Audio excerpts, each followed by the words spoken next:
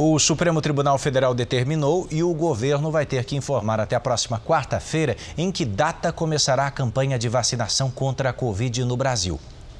Tanto o ministro da Saúde, Eduardo Pazuello, como o advogado-geral da União, José Levi Melo, foram notificados hoje pela manhã. Eles têm 48 horas para esclarecer qual a previsão de início e de término do Plano Nacional de Vacinação contra a Covid-19. O ministro Ricardo Lewandowski, do Supremo Tribunal Federal, quer as datas.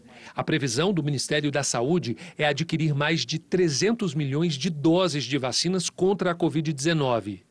Hoje, a Ordem dos Advogados do Brasil pediu ao STF que determine que o governo brasileiro compre vacinas internacionais que já foram aprovadas por entidades sanitárias estrangeiras de renome, mesmo que ainda não estejam registradas pela Anvisa.